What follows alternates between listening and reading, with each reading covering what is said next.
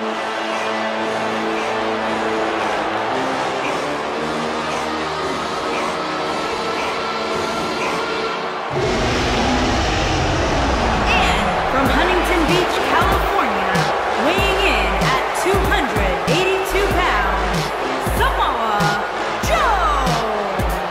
huge opportunity here tonight for one of these superstars to prove their dominance against a whole host of others. Yeah, and whoever ends up winning this battle royal will have certainly earned it. I mean, some of WWE's biggest names are in this match.